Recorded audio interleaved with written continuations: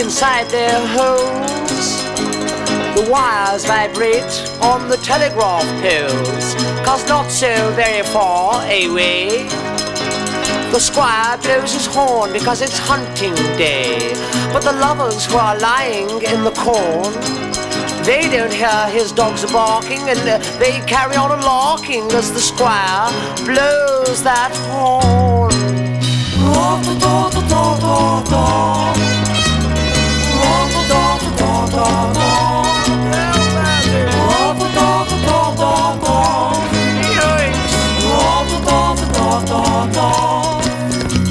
The foxes leave their hills and start to run. The telephone wires start to sing and hum. The hounds and horses hurry by. And men in crimson jackets shout the hunting cry. But the lovers who are lying in the corn, they don't hear a single shout. Cause they'd rather fiddle about as the squire blows that horn.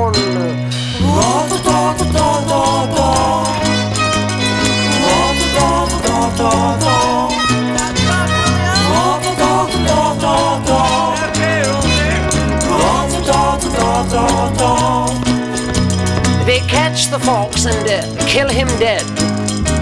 A big fat squire cuts off the fox's head. Cause he wants to stick it in his hole so he can brag about it when his best friends call.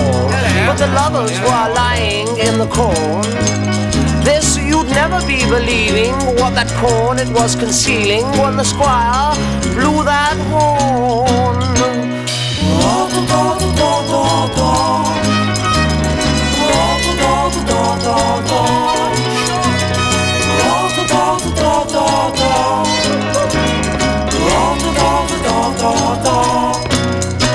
So if you're ever lying in the corn and you should hear the squire blow his hunting horn, it's time that you got up and started going.